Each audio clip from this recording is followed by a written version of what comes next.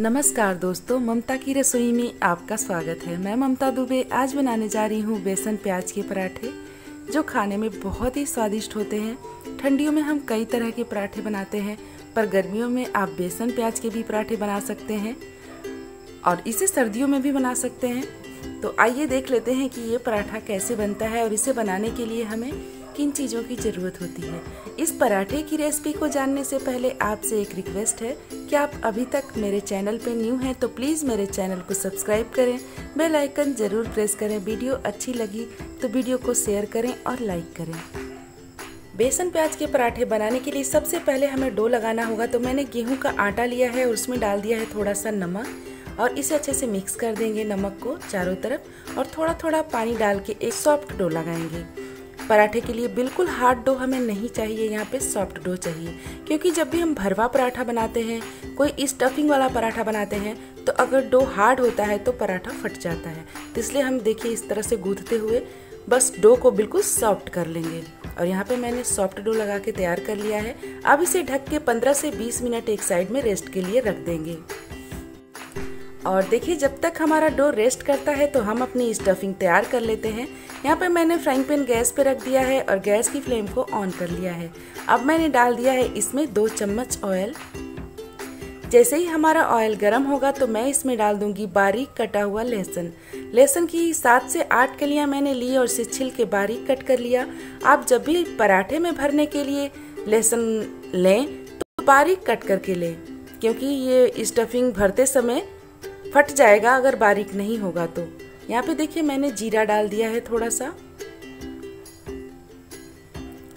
और अब मैं डाल दूँगी अजवाइन थोड़ा सा, क्योंकि बेसन के पराठे हैं और बेसन थोड़ा सा हैवी होता है, इसलिए मैंने अजवाइन डाला और फिर मैंने डाल दिया थोड़ा सा हींग। और अब मैं डाल देती हूँ तीन से चार बारीक कटी हुई हरी मिर्च, और ये ग्रेट किया हुआ एक इंच अदरक का टुकड़ा। और इन सारी चीज़ों को अच्छे से मिक्स कर लेते हैं। आप यहाँ पे प्याज लहसुन नहीं खाते तो उसे स्किप कर सकते हैं। अब यहाँ पे मैं डालूँगी चार, बड़े चम्मच से चार चम्मच बेसन। और बेसन को भी हम अच्छे से इसमें भून लेंगे। जब भी आप बेसन प्याज के पराठे बनाएँ तो कभी भी कच्चा बेसन उसमें ना डालें। आप इस तरीके से भून के डालिए। देखिए कितना स्वाद अच्छा होता है और सेहत के लिए भी नुकसान नहीं करता है। ये देखिए, ऐसे भून लेते हैं अच्छे से। और यहाँ पे देखिए, हमारा बेसन भुन चुका है थोड़ा सा कलर भी चेंज हो गया है। तो मैं यहाँ पे बारीक कट की हुई प्याज ले लूँगी। आप जब भी बेसन की पराठे के लिए प्याज लें तो प्याज को बारीक कट कर लें। बारीक कट की हुई प्याज इस स्टफिंग में अच्छे से भर जाती है और हमारा पराठा फटता नहीं है। तो यहाँ पे बारीक कट कर लिया है और प्याज को भी मैंने दो मिनट भून लिया है। और यहाँ पे देखिए, प्याज डालने के बाद में मैंने थोड़ी देर तक भून लिया है और प्याज सॉफ्ट हो चुकी है तो मैं डाल देती हूँ नमक। उसके बाद मैं डाल रही हूँ हल्दी। अच्छा सा कलर आएगा। उसके बाद मैंने धनिया पाउडर डाल दिया और अब मैंने डाल दिया है कश्मीरी लाल मिर्च। और इन सारे मसालों को हम अच्छे से इसमें मिक्स करेंगे और थोड़ी देर तक भून लेंगे। प्याज के साथ ये मसाले भी भून जाएँगे। और यहाँ पे आप इस बात का ध्यान रखें कि आपकी जो गैस की फ्लेम है, वो बिल्कुल लो पे हो या फिर लो टू मीडियम पे हो। और इन्हें देखिए हमने भून लिया है। जब भी आप कचौड़ी या फिर पराठे बनाते हैं तो प्याज को इस तरह से बाद में डाल के भूनिए। बहुत अच्छा टेस्ट आता है। और अब मैंने थोड़ा सा पुदीना लिया था, सूखा हुआ, उसे क्रश करके डाल दिया है। आप चाहें तो इसकी जगह पे कसूरी मेथी भी ले सकते हैं। और जब तक हमारी स्टफिंग ठंडी होती है तो हम आटे को चेक कर लेते हैं। तो आटा हमारा बिल्कुल सेट है। अब हम डालते हैं इसमें एक चम्मच घी और आटे को दोबारा से अच्छे से मसल लेते हैं। ये देखिए, जब भी आप स्टफिंग का पराठा बनाएँ तो आटा बिल्कुल आपका नरम होना चाहिए। यहाँ पे आटा हमारा बिल्कुल सेट हो चुका है और अच्छा आटा तैयार हुआ है। अब मैं इसमें से थोड़ी बड़ी आकार की लोइयाँ काट लूँगी इस तरीके से। और लोइयाँ काट के हम रख लेते हैं एक साइड में। ये देखिए। और यहाँ हमारी स्टफिंग भी ठंडी हो चुकी है और ये मैंने डस्टिंग के लिए गेहूँ का आटा लिया है। अब मैंने एक लोई उठा ली है उसमें से और थोड़ा सा इसे डस्ट कर लिया। और इसे एक चपाती के आकार में बेल दूँगी। बहुत बड़ा नहीं बेलना है। ये देखिए इस तरीके से बेल लेंगे। ये देखिए मैं आपको दिखाती हूँ ये इतनी मोटी है बहुत ज़्यादा पतला नहीं बेलना है इसे। और अब मैं इस पर स्टफिंग रखूँगी। बीच में रखेंगे बिल्कुल स्टफिंग को और इस तरीके से मोड़ लेंगे। ये देखिए इस तरीके से कर लेते हैं। ये बहुत ही आसान प्रोसेस है। अगर आप कभी भी पराठा नहीं बनाए होंगे तब भी, भी इस तरीके से बनाएँगे तो बना लेंगे। ये देखिए। और अब मैं थोड़ा सा डस्ट करूँगी इसे और हल्के हाथों से इसे बेल लेंगे। तो यहाँ पे देखिए, हल्के हाथों से बेल लेते हैं। आपकी ये जो स्टफिंग है, ये बच जाए तो आप इसे एक हफ़्ते तक फ्रिज में स्टोर करके रख सकते हो। और जब भी आपका मन करे तो पराठा बना सकते हो। और एक पराठा हमारा बन के तैयार हो गया है तो मैंने उसे एक साइड में रख दिया है। एक बार मैं आपको फिर से दिखा देती हूँ तो एक लोई ली मैंने और उसे इस तरह से बेल लिया है। और बीच में रख देंगे स्टफिंग तो यहाँ पे तीन चम्मच स्टफिंग में रख रही हूँ। ये देखिए।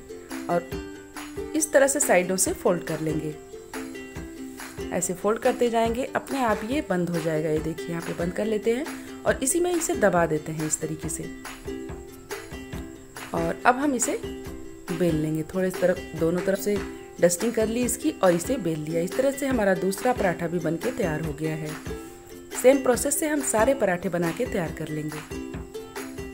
और अब हम चलते हैं आगे के प्रोसेस में। तो अब हम गैस पे रख देते हैं तवा और गैस की फ्लेम को ऑन कर लिया है। तवा के गर्म होते ही मैंने गैस की फ्लेम को मीडियम पे कर लिया है। और हमें पराठे मीडियम फ्लेम पे ही सेकने हैं, तभी पराठे अच्छे बन के तैयार होते हैं। और ये देखिए, एक साइड से जैसे थोड़ा सा हो जाता है, पक जाता है तो हम इसे दूसरे साइड पलट लेते हैं और इधर लगा लेते हैं घी। मैंने यहाँ पे देसी घी लगाया है, आप चाहें तो ऑयल में भी पराठा बना सकते हैं। और ये देखिए, फिर पलट लिया। और दूसरे साइड से जिधर अभी घी नहीं लगा है, उधर भी हम घी लगा देंगे। और आप देख पा रहे होंगे कि पराठे हल्के हल्के से फूलने लगे हैं। और ये बेसन के पराठे बहुत ही स्वादिष्ट होते हैं। आप इसे दही से खाइए, सब्ज़ी से खाइए, चटनी से खाइए, चाय के साथ खाइए। कैसे भी ये पराठे बहुत अच्छे लगते हैं। तो आप इस पराठे की रेसिपी को ज़रूर ट्राई करें। ये देखिए। और सेम जब हम प्याज की बेसन की कचौरी बनाते हैं या प्याज बेसन की पूरी बनाते हैं तो स्टफिंग सेम बनती है।